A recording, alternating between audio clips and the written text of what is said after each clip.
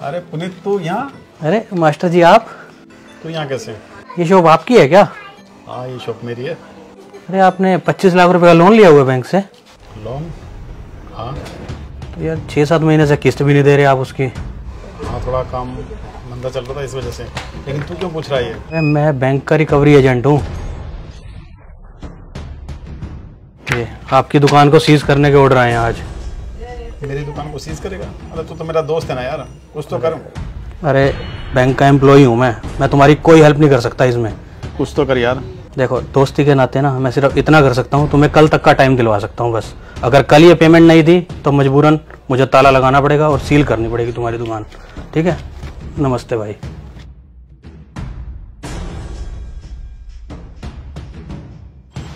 कैसे दोस्त थे आपके। आप मुसीबत में और आपकी हेल्प भी नहीं करी। अब आप क्या करोगे?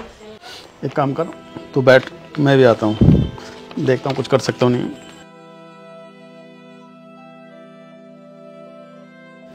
आगे भी आप? हुआ कुछ इंतज़ाम?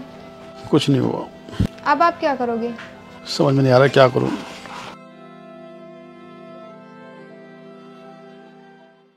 अरे ये लिफाफा कौन दे गया? हाँ भैया एक ना भैया आए थे वो दे के गए थे। और उन्होंने कहा था यूसुफ जी को दे देना ये।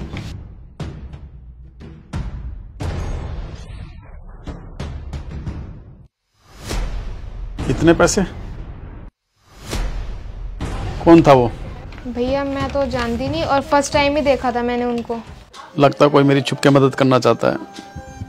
को ऊपर वाले ने फरिश्ता भेजा है ताकि मुझ पर कोई परेशानी ना आए।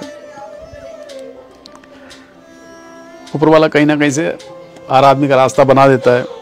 अगर वो मुसीबत देता है ना तो उसका हल भी देता है। बेशक वो चोरी छिपे हो। ऊपर वाले, उसका भला करना, जिसने मेरी मदद की है, उसको हर खुशी देना, हर मुसीबत से बचाना।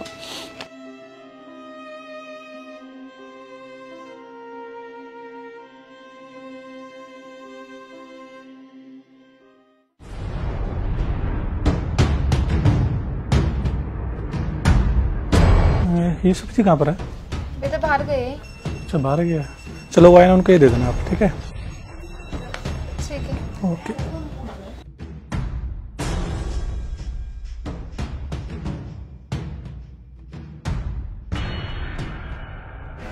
जी सर जो आपने काम बोला था ना वो मैंने कर दिया। चलो ठीक है चलो तुम। सर आप तो ये बोल रहे हैं मैं दुकान में मदद नहीं कर सकता। और आपने पैसे भिजवा दिए।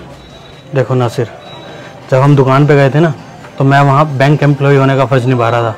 और अब अब मैं दोस्ती का फ़र्ज़ निभाया समझे? ठीक है भैया